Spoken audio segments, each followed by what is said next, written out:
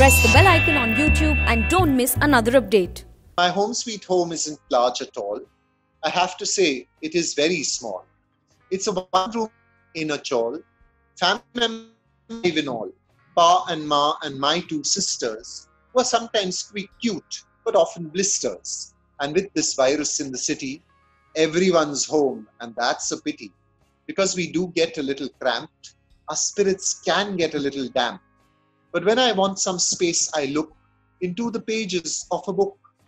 Because ever since I met Brer Rabbit, I developed a reading habit. I went with Cinderella to the ball and howled at the moon with the blue jackal.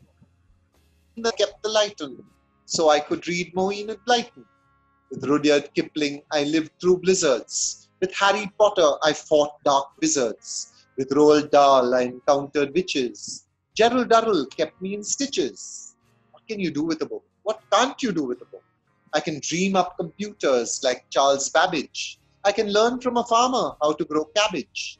I can join a space mission and go to Mars or just fly there with my superpowers. I can hunt with lions. I can fly with bees. I can learn to cook from old recipes. And once book's over, once it's been read, I can still find books inside my head. So I don't need a home that's big and grand, so long as a book is close to hand.